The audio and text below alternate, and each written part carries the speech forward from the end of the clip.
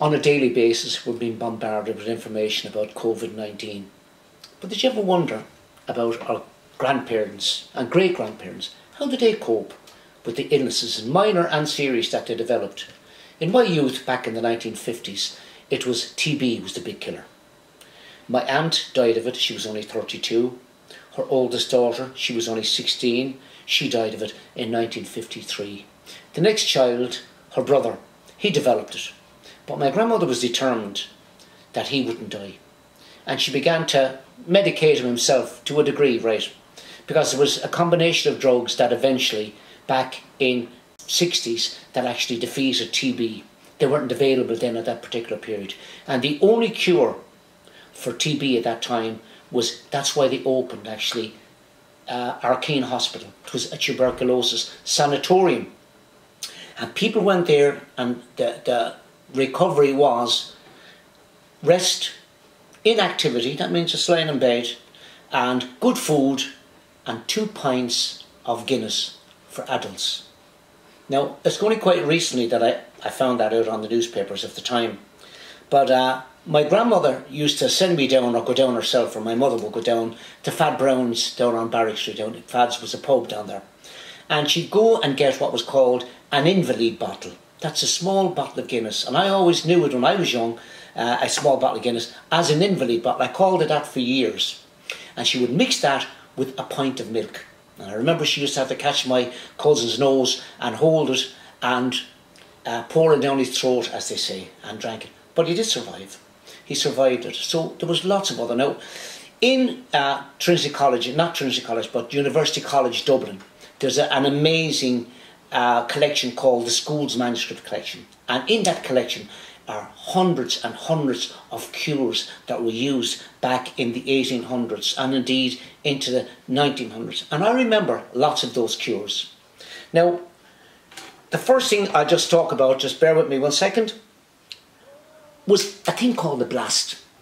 My grandmother was brought up in the County Clare, and uh, she was what was called, this is what she believed, overlooked. Now, I don't know if anyone have ever heard that expression, but overlooked was meant that there was somebody jealous of the child, and when they looked at the child, they wouldn't say, God bless him or God bless her. And that was almost like a curse that was put on the child. That happened to my grandmother. And how do we know? Because in her teenage years, she developed what was called a blast. Now, again, you might have heard that expression, God blast you. Not used very much anymore, but I remember all the older people. It was a common expression. God blast you, by it. God blast you, girl. And my grandmother uh, developed a blast. She ended up up in the infirmary.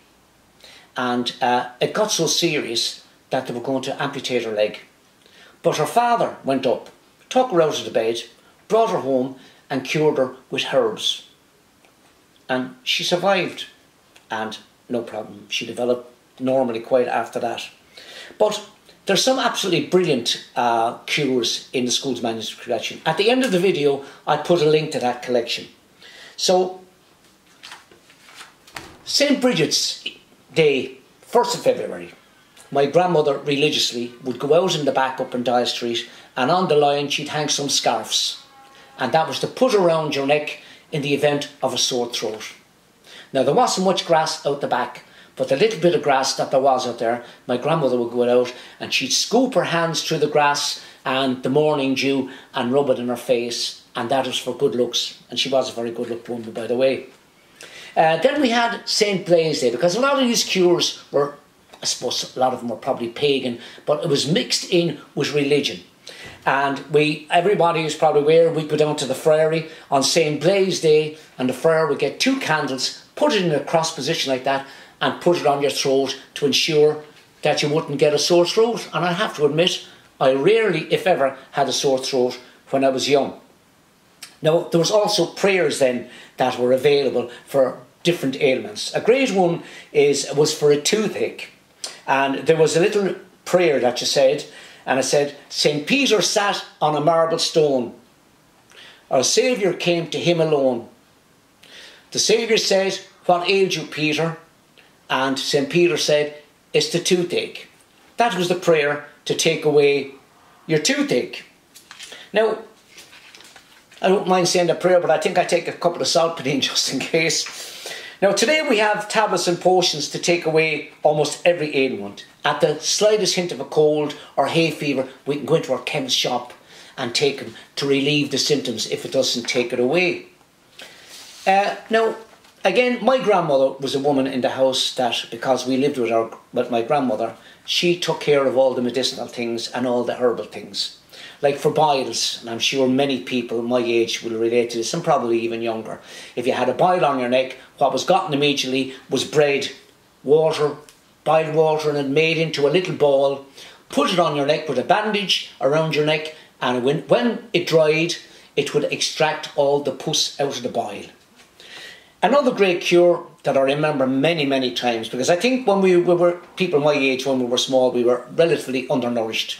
We didn't get stuff with lots of vitamins, we didn't have vitamin tablets, we didn't have bananas, uh, anything like that.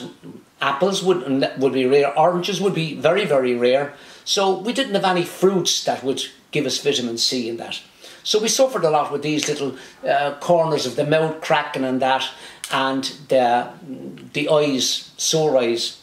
But what my grandmother used to do if I had a sore eye is she would get a pamp, it was called the fasting spit. And when, she, when she'd get up in the morning, she'd cup her hand like that and spit into her hand, as we say, a bit of phlegm.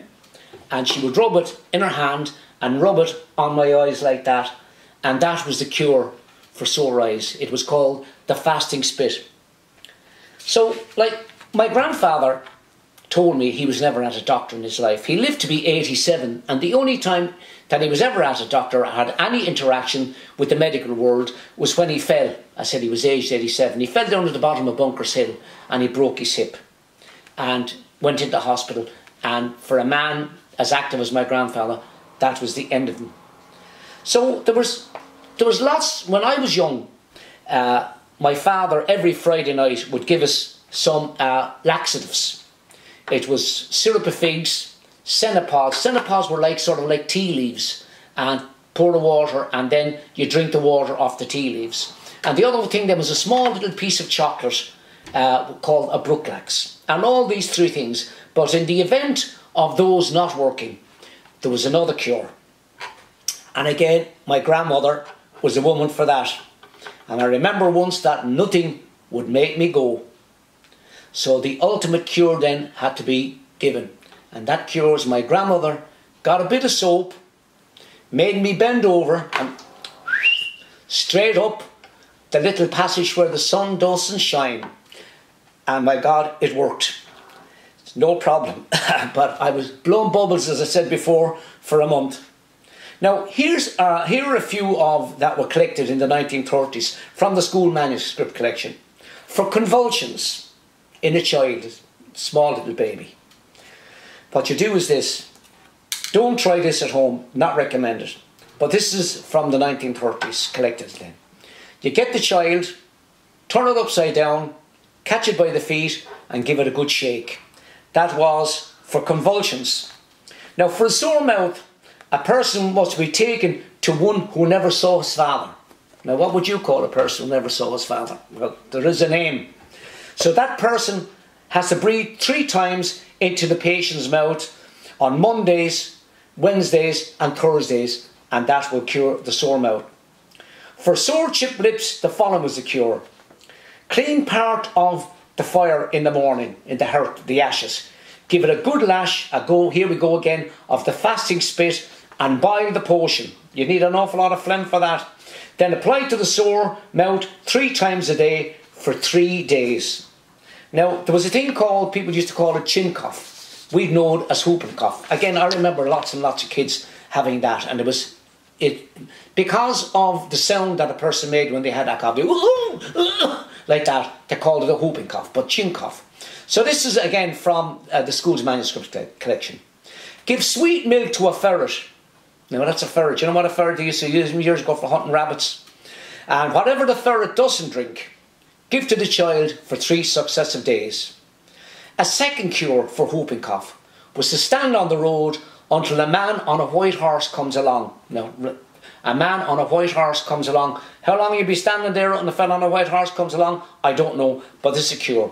So what you do is you'd ask him what the cure for the, the, the whooping cough was. And whatever he tells you to do, you do. And that was a cure. It's unbelievable that people believe these, but they did. Their whole lives ruled by these uh, religious and these, I don't know what you call them, superstitions, I suppose the best word. Now, warts was the thing. Everyone I know when we were growing up had warts on their hands. Why we got them, I don't really know. I suppose some medical people out there can tell us. So I know what my grandmother used to do. And it was essential. Now, there was many, many cures for warts, and I suppose everyone say, but my grandmother had a different one. There was a ton of cures. What my grandmother used to do is go down to the butcher and steal a piece of meat. Now, it was essential that you stole it. You couldn't just ask the butcher, for whatever reason, I don't know. But it was essential that the meat had to be stolen. A small piece. She'd come home and she'd rub the wart on my hand, or my brother, or my sister, whoever had the wart, go out in the back and bury it. And when the meat uh, would, would sort of like rot, the wart would be gone. So the next one was a cure for a stye in the eye. Was to get a piece of gooseberry bush with 10 thorns. Point nine of them at the stye. And then the one, other one that was there would be the cure. For rheumatism, you get a bunch of nettles and beat yourself all over the body. Now, I'm sure when the pain went away, that uh, you would feel an awful lot better. Another cure for a toothache, and this one I just can't figure out, consisted of tobacco and a dead frog. Now, I don't know whether you wrap the frog, the frog into tobacco and smoked it or what, but people believe it worked. Now, for people who don't feel 100%, that was known years ago as a person is in decline. That means they're not that well. And uh, so they would look for a pick me up, as they call it. I'm sure a lot of you are familiar with that expression. So what they did was you get flowers from a furze bush and boil in new milk. You strain and drink the milk. Another cure for decline was to put a patient asleep in a cowhouse, outdoors. And that was, but I'm sure that uh, the next morning after sleeping in the cowhouse all night, you definitely would have to feel better. I suppose it beats, beats vitamin B. Now, if you had shingles, which I believe is very painful, you would get a black animal. Now, that could be a cat, a dog, or a cow. And you would paint the shingles with the blood of the animal. Uh, you might feel better, but I'm not too sure about the cat or the cow or the dog. And yet, some cures are very similar to what you would buy in the chemist today. So all cures for colds are similar to what we use today. For instance, an old cure for a cold is to take a currant or black lemon drink going to bed. Carrageen moss, boil it and take it with honey for a cold. For a chesty infection, you inhale Friar's Balsam for a cold in the chest or the head, up the nose for these head colds. Now these remedies are still available in a chemist today. So some another this is a great one for a wart. I just have to have to tell you this. So if a person had a wart, this was the cure. You fill a bag with stones, the same number. As if you had ten warts, you put ten, ba- 10 uh, stones in a bag. You go down to the crossroads and you swing it over your head and throw the bag away. And the secret was whoever came along and picked up those stones would get your warts.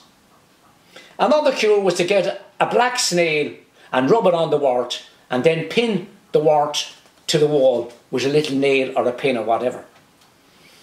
When the snail is withering, the wart is gone. A person who has licked a creeper frog has a cure for burdens. So that means anyone who ever licked a frog. Now, I never had the inclination to lick a, a creeper frog. I don't know what a creeper frog is, but any, I, have never even, I've often held frogs in my hand years ago when I was young, but I never had an inclination to give one a good lick. But seemingly, if you did lick it, you have the cure for burdens. Now, if your sheep has a blind eye, it's called. So I don't know what a blind eye is in the sheep is, but there is a cure for it. A very simple cure. You spit in the sheep's eye. You mightn't be the sheep's friend any longer, but the sheep will be cured. So, another cure for thrush in the mouth is to get a child who never saw his father. Now we had that again for another cure. But this is one for thrush in the mouth, which would have been very common years ago with children. I don't know if it's very prevalent or not nowadays. I don't know. But get someone who never saw his father and uh, get him to blow in the child's mouth. So that should do the trick. Another cure for thrush in a child is to pass the child under a donkey three times. So let him walk in under the donkey's belly three times and that should cure the thrush. Uh, our cure for ringworm was to put three fir sticks in the fire and redden them. Take them out one by one and make signs over the ringworm, reciting a prayer at the same time, and this would get rid of the ringworm. And finally, the one I remember was that my grandmother with nettles. Now, she often and often went out the country and brought home nettles. And she would, uh, she would boil the nettles and she would wash her hair in it and have the nettles then as same as cabbage. And there was another thing she used to do was that she used to go out to Tramore every September, October. And she'd go out and she'd bring a bucket out with her. And she'd bring home a bucket of salt water from Tramore. And you might say, well, why did she bring that home? Because at that time of the year, the, the seaweed in the in, in, in, in the seaside releases the iodine, and that was essentially for iodine. She used to also make lime water. She'd get lime and make lime. I remember every morning my grandmother gave me a small little thimbleful, small little glass, very small, full of lime water, and that was for the skin. And my grandmother had absolutely beautiful skin. So she used to also wash her hair out of the nettles, uh, the, the, water off the nettles. Again, all these, and I'm sure a lot of those, they sound very logical. The one about the iodine in the water sounds very, very logical. But a lot of them were sort of like nonsensical stuff, and I'm sure many of them did more harm than good. But they all survived, and they survived more importantly to tell us the great stories of the great cures. Talk to you again soon.